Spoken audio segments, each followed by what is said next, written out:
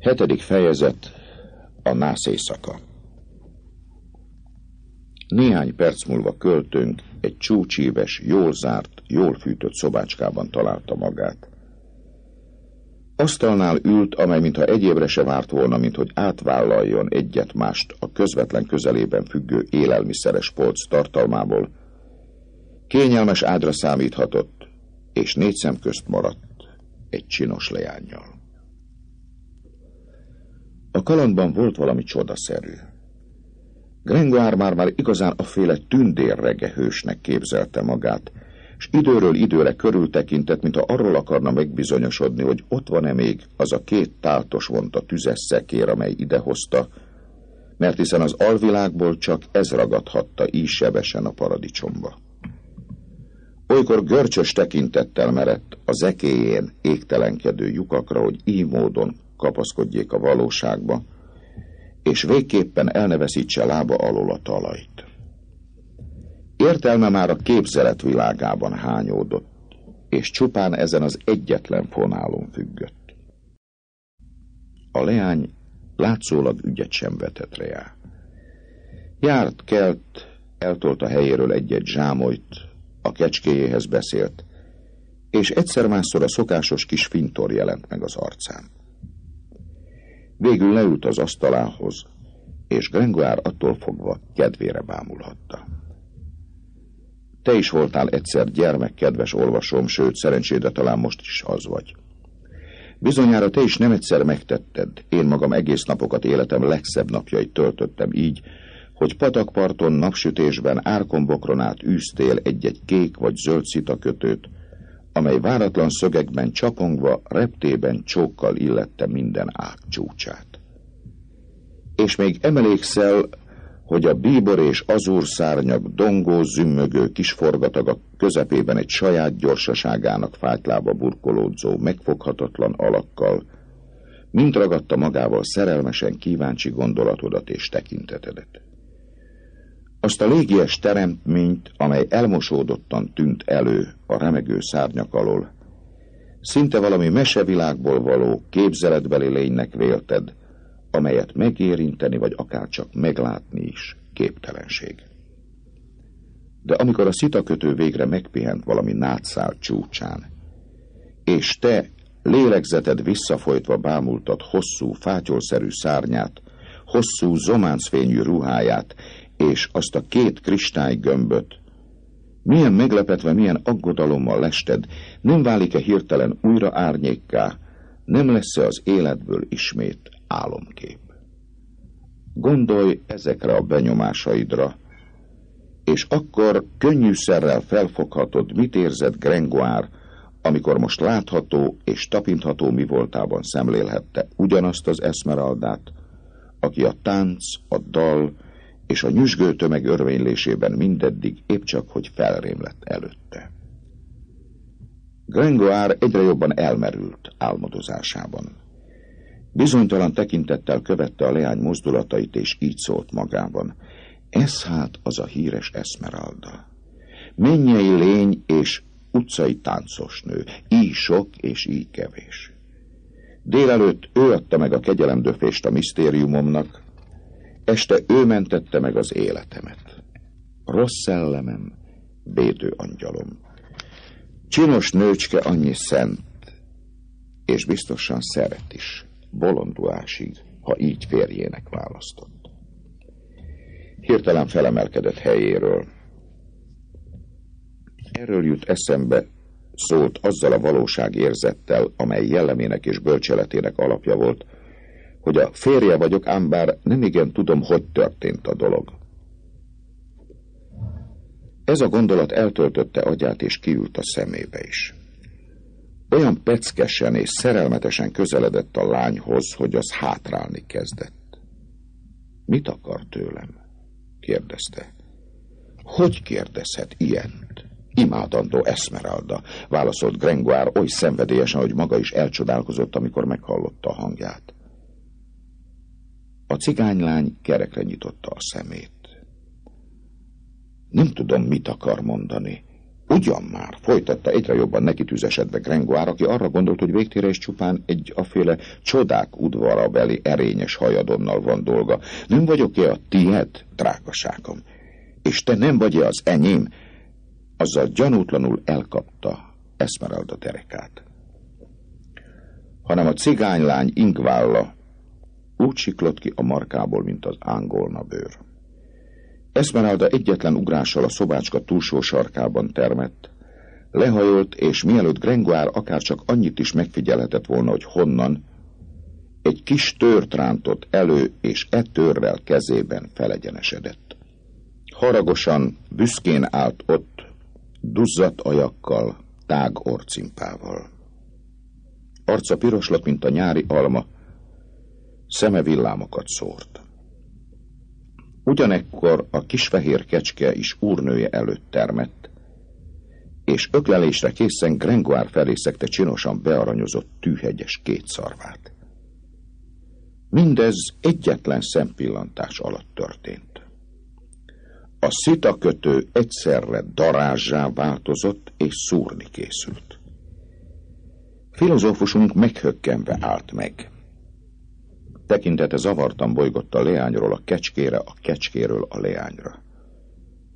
Szentséges szűzanyám szólt végre, amikor az első meglepetés múltával megjött a hangja. Ezek aztán bátor nőszemélyek. A cigány leány is megszólalt. Vakmerő fickó lehetsz. Bocsánat, kisasszony, mosolygott Grengoire, de hát akkor miért választott férjének engem? Hagytam volna inkább, hogy felakasszanak. E szerint, kérdezte a költőkiség kizökkenve szerelmes ábrándozásaiból, e szerint semmi egyébre nem gondolt, amikor feleségül jött hozzám, mint arra, hogy ezzel megment az akasztófától. Mi egyébre gondolhattam volna még? Grengoire az ajkába harapott. Ennyi, mondta, Kupidó úgy látszik mégsem kedvel annyira, mint hittem volna. De hát akkor mi a csodának kellett összetörni azt a szegény korsót? Esmeralda tőre és a kecske szarva még mindig védő állásban mered Grengoire felé. Esmeralda kisasszony, szólt a költő, kössünk békét. Én nem vagyok a Chatelet írnoka, és nem kellemetlenkedem, amiért az előjáró úr rendelkezéseinek és tilalmainak fittyet hányva tört hord magánál Párizs városában. Pedig bizonyára tudja, hogy Noël Lesprivén nyolc nappal ezelőtt tíz párizsi szú pénzbüntetésre ítélték tiltott kardviselésért. Ám de nekem ehhez semmi közöm. És most rátérek a tárgyra. Mennyországi jussomra esküszöm, hogy engedelem és felhatalmazás nélkül soha többé nem közeledem kegyethez, hanem most adjon valami vacsorát. Grengoire, akárcsak Depreux úr, Bolyó Depreux 1636-tól 1711-ig élt, kiváló francia költő és kritikus, alapjába véve nemigen volt késóvár természetű. Nem volt szokása a lovagok és katonák módjára rohammal bevenni a leány szíveket. Minden dolgában a szerelemben is kedvelte a halogatást és a mérsékletet. És egy nyájassan, kettecskén elköltött jó vacsora, kiváltva éhes az ember, pompás közjátékul szolgálhat egy szerelmi kaland prológusa és végkifejlete között. A cigányleány nem válaszolt. Megvetően elbigyeztette a száját, és mint valami madár felszegte a fejét. Aztán egyszerre felkacagott, és a finom kis tőr úgy tűnt el, ahogy az imént előkerült, anélkül, hogy Grengoire megsejthette volna, hová rejti fullánkját a méh. Egy perc múlva roskenyér, egy szelet sonka, néhány ráncos alma és egy kupa árpasör termett az asztalon. Gringoire dühötten vetette rá magát az ételre. Vasból készült villájával olyan csörömpölést vitt véghez cseréptányérján, hogy aki hallja, azt gondolhatta volna, hogy szerelme teljes egészében étvágyjá alakult át. A leány szemközt foglalt helyet, és csendesen nézte Grengoárt. Szemlátomást valami egyéb gondolat kötötte le, és mosolyogtatta meg egyszer-másszor. Közben gyengéden két térde közé szorította, és szelíden simogatta a kecske értelmes fejét. Sárga viaszgyertya fénye világította meg a falánkság és ábrándozás e pár jelenetét. Grengoár, amikor korgógyomra első éjségét csillapította, álszent szégyenkezéssel látta, hogy az asztalon már csak egyetlen árva alma maradt. Kegyed nem eszik? Eszmerálta kisasszony. Válaszképpen a lány tagadóan rázta meg a fejét, merengő tekintete a szovácska bolthajtásán állapodott meg. Mi a csoda foglalkoztathatja annyira? Töprengett magában Grengoár, és szemével követte a leány pillantását. Annyi biztos, hogy nem a boltív zárókövébe faragott törpe torz ábrázata köti le ennyire a figyelmét. Ez ártekbe is. Ezzel a törpével még csak kiállom az összehasonlítást. Emelt hangon szólt. Leányasszonykám! A leány, mintha nem is hallotta volna. Esmeralda leányasszony! Hasztalan volt minden. A leány eszmélete másút kalandozott, és Grengoárnak nem állott hatalmában, hogy hangjával visszaszólítsa onnan. Szerencsére a kecske is beleavatkozott a dologba, gyengéden megrántotta úrnője ruhaujját. Mit akarsz, Jali? kérdezte a cigánylány, olyan élénken, mint aki álomból riadt fel. Alig, ha nem éhes, mondta Grengoár, boldogan, hogy beszélgetésbe kezdhet. Esmeralda szétmorzsált egy darab kenyeret, Jolly kedvesen majszolta a tenyeréből. Grengoár egyébként nem hagyott időt Esmeraldának, hogy ismét álmodozásba merüljön, hanem megkockáztatott egy kényes kérdést. Tehát nem vállal férjének? A leány határozott tekintettel nézett rá, és ezt felelte. Nem. Hát szeretőjének, újra elvigyeztette az ajkát, és így válaszolt, annak sem.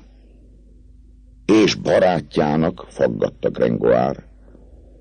Esmeralda még mindig merően nézte, pillanatnyi fontolgatás után így szólt, talán. Ez a talán szócska, amely annyira kedves a bölcselőknek, bátorságot öntött Grengoárba. Tudja, mit jelent a barátság? kérdezte. Tudom, válaszolta Egyiptom gyermeke. A barátság nem más, mint testvéri viszony férfi és nő között. Két lélek közel jut egymáshoz, de nem olvad össze. Akár két új egy kézen. Ez a barátság. Hát a szerelem, folytatta a kérdezősködést Grengoár. Hó, a szerelem, mondta a leány, és hangja megremegett, szeme felragyogott. A szerelem azt jelenti, hogy két ember, kettő és mégis egy. Egy férfi és egy nő egyetlen angyallá olvad össze. Ez a mennyország. A szépség, amely eszóknál eláradt az utcai táncosnő arcán, különös megkapó benyomást tett Grengoárra. Úgy érezte, hogy ez a szépség tökéletes összhangban áll a leány beszédének csak nem keleties túlfűtöttségével. Esmeralda szűzies, rózsaszírom ajkán halvány mosoly ült. Derűs patyolat homlokát olykor elfelhősítették a gondolatok olyan formán, mint tükröt a lehelet. Lesütött szempillája mögül valami leírhatatlan fény csillant elő, és eszményi látságot kölcsönzött vonásainak.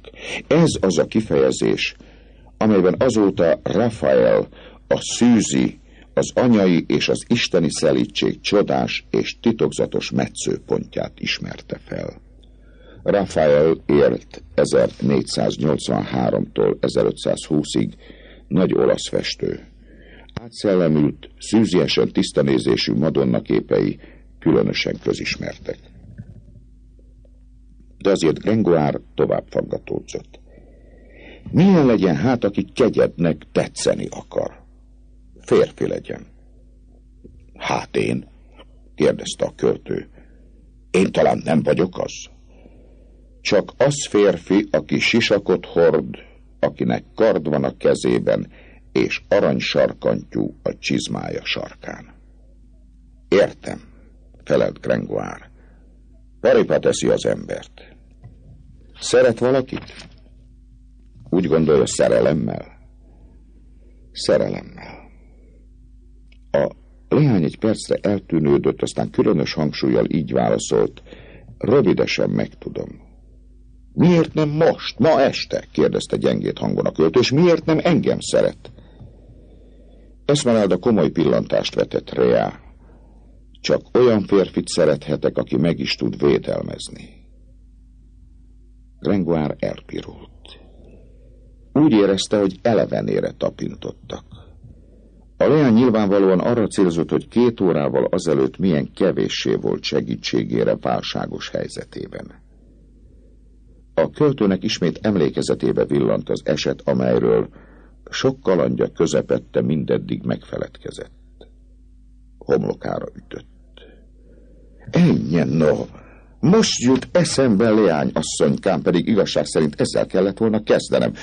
Haj, bocsássa meg ostoba szórakozottságomat. Hogyan sikerült végül is kimenekednie kvázimódó karmai közül? A cigányleány összerezzent erre a kérdésre. Ó, az a pupos szörnyeteg, szólt arcát tenyerébe rejtve. Megborzongott, mintha nagyon hideg lett volna a szobában. Csak ugyanaz, szörnyeteg, felelt Grengoire.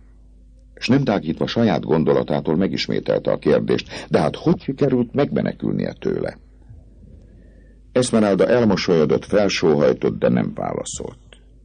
Tudja-e legalább, hogy miért üldözte? Folytatta a tudakozódást Grengoire, kerülő úton igyekezve visszakanyarodni eredeti kérdéséhez. Nem tudom, felelte a leány, majd élénken hozzátette. Kegyelmed is követett. Miért? Őszintén szólva válaszolta Grengoire, magam se tudom. Csend támadt. Grengoire a késével az asztalt farigcsálta, a leány mosolygott, úgy tetszett, mintha a falon keresztül bámulna valamit. Aztán váratlanul szinte szavak nélkül dalba fogott. Cuando las pintadas aves mudas están y la tierra. Ha a tarkamadarak elnémulnak, és a föld hirtelen elhallgatott, és Jalit kezdte simogatni. Csinos kis kecskéje van, jegyezte meg Grengoire. A nővérem, válaszolta a leány. Miért hívják kegyedet Esmeraldának, smaragdnak, tudakolta a költő. Nem tudom. No, de mégis. A leány egy füzéren csüngő, hosszúkás zsákocskát húzott elő a kebléből. A zsákocska erős kámfor illatot árasztott, Zöld sejem húzatának közepén smaragdot utánzó nagy üvegkristályfény lett. Talán ezért, mondta a leány. Grengoire meg akarta fogni a zsákocskát, de a leány egy lépést hátrált. Hozzá ne érj! Ez bűvös erekje. Megtöröd a varázserejét, vagy az ront meg téged. A költőt egyre inkább furdalt a kíváncsiság. Kitől kaptad? A leány az ajkára tette ujját, és keblébe rejtette a varázs erekjét. Gringoire újabb kérdésekkel próbálkozott, de nem igen kapott rájuk feleletet. Mit jelent ez a szó Esmeralda? Nem tudom, felelte a cigány leány. Milyen nyelvű szó ez? Azt hiszem, egyiptomi. Gondoltam, mondta Grengoire. Kegyet tehát nem Franciaországban született. Sejtelmem sincs róla. Szülei élnek? A lény valami régi dallamra ezt énekelte. Ki volt apám? Dalos madár. Anyám is az madárka, szárnyam segít a vízen át. Nem holmi sajka bárka. Ki volt apám? Dalos madár. Anyám is az madárka. Szép, mondta Grengoire, és hány éves korában jött Franciaországba? Egészen kicsi voltam. Hát Párizsba. Múlt évben. Amikor áthaladtunk a pápa kapun, láttam, hogy nádi csalogány repdes fent a magasban. Augusztus volt. Azt mondtam, zord telünk lesz. Az is volt. Felelte Grengoire boldogan, hogy végre megindult a társalgás. Egész télen át a körmemet fújtam. Kegyedet tehát jós tehetséggel áldotta meg az ég. A leány visszazökkent szűkszavúságába. Nem. Ki az az ember, akit Egyiptom hercegének neveznek? Ő a törzs vajdája? Igen. Márpedig ő adott össze bennünket, jegyezte meg bátortalanul a költő. Esmeralda a megszokott kedves ajkbigyeztéssel válaszolt, hiszen még a nevedet se tudom. A nevemet? Pierre Grengoárnak hívnak parancsolatjára. Tudok ennél szebb nevet is, mondta a leány. Komissán, felelte a költő. De se baj, nem haragszom érte. Ha jobban megismer, talán, talán meg is szeret. Aztán az imént olyan bizalmasan elmondta az élet történetét, hogy úgy érzem, kisé adósa vagyok az enyémmel. A nevem tehát Pierre Grengoire. A Gonessi jegyzői hivatal bérlőjének fia vagyok. Atyámat felakasztották a burgundiak, anyámat kizsigerelték a pikárdiaiak húsz esztendő előtt Párizs ostromakor. Hat éves koromban elárultam hát. Mezitláb tapottam a párizsi utcakövet. Nem is tudom, hogy vészeltem át a hat éves koromtól tizenhat éves koromig terjedő időt. Egy gyümölcsös kofa néha megajándékozott egy-két szem szilvával, egy lacikonyhás olykor elém hajított darabka kenyérhéjat. Esténként elfogadtam magam, és úgy intéztem, hogy fogdába vigyenek, ott, ott aztán legalább találtam egy nyaláb szalmát a földön. Mindez azonban, mint látnivaló, nem akadályozott meg abban, hogy felnőjek és lesoványodjam. Télen a nap volt a kájhám, a Sans palota pitvarában, és roppantul nevetséges dolognak találtam, hogy az emberek a Szent János napi tűzgyújtással megvárják a kánikulát. 16 éves koromban állást akartam vállalni. Szép sorban mindennel megpróbálkoztam. Beálltam katonának, de nem voltam elég bátor. Felcsaptam szerzetesnek, de nem voltam elég istenfélő. Aztán meg inni sem igen tudok.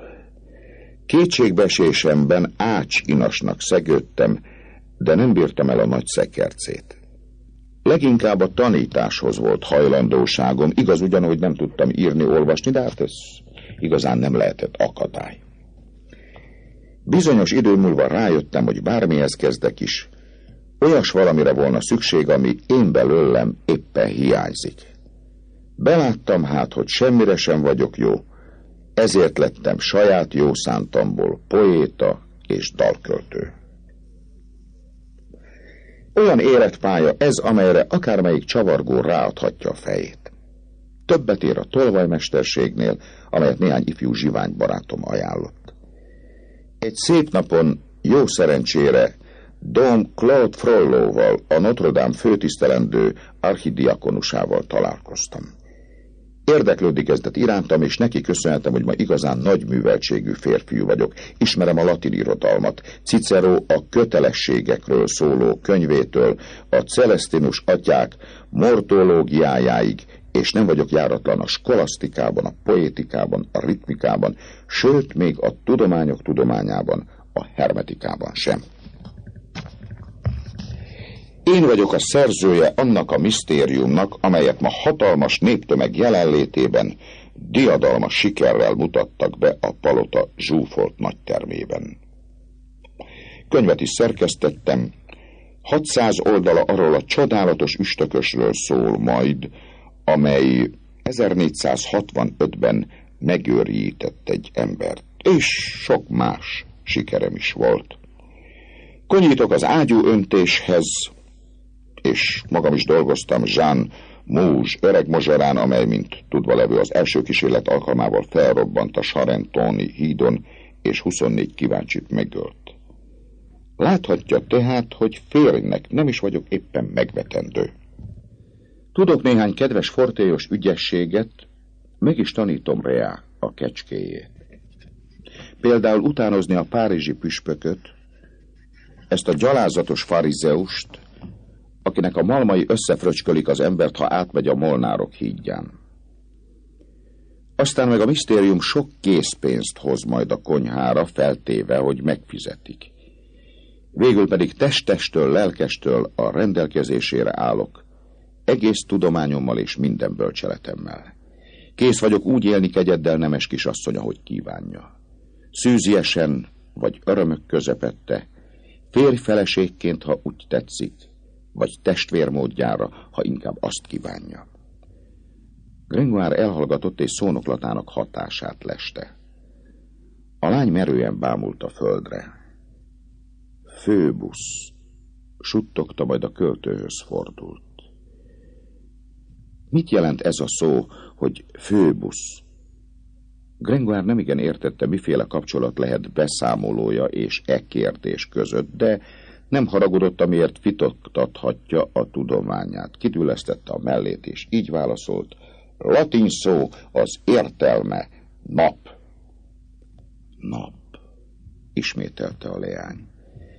Egy csodaszép íjászt hívtak így, aki Isten volt, fűzte hozzá Grengoire. Isten, visszhangozta a cigány leány. Volt a hangjában valami töprengő, valami szenvedélyes. E pillanatban egyik karperece kioldódott és leesett a földre. Grengoire buzgón lehajolt érte, amire felegyenesedett a leány is, a kecske is, eltűnt a szobából. Retesz kattanása hallatszott, azt a kisajtót zárta be kívülről valaki, amely nyilván a szomszédos kamrában nyílt. De azért ágyat talán mégiscsak hagyott nekem, szólt filozófusunk. Körüljárta a kis szobát, de ott nem akadt egyéb alvásra való alkalmatosság, mint egy hosszú fajta faláda, de annak is faragott volt a teteje. Grengoire olyas formán érezte magát, amikor lefeküdt rá, mint Holmi Mikromégas, Mikromégas Volter hasonló nevű művének hőse, Mikromégas olyasfélét jelent, mint kis nagy ember, amint éppen egész hosszában végighever az Alpokon. Na jó, szólt, és tőle telhetően kényelembe helyezkedett. Az embernek bele kell törődnie a sorsába. Hm. Há nem, ez aztán furcsa nász éjszaka. Kár. Volt valami vízözön előtti gyermetegség ebben a korsó törős esküvőben, ami tetszett nekem.